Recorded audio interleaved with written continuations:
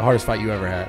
There's a guy I fought named Josh Neer. He my he my boy now though. We're we're homies, but um, Josh Neer fought my brother. My brother is the dopest fighter you ever met in your whole life. And then Nick ended up finishing him in the third round though. And then anyway, time went by. He went down to 155 where I was fighting at, and. Uh, we ended up fighting and I just I watched his fight so much and I trained so perfect for him that everything was like he threw punches like I like slipped it like right under it, grabbed him, everything, but he countered everything and it was like if you watch that fight me versus Josh Neer, it was hundred miles an hour. It's a good, it's a good fight.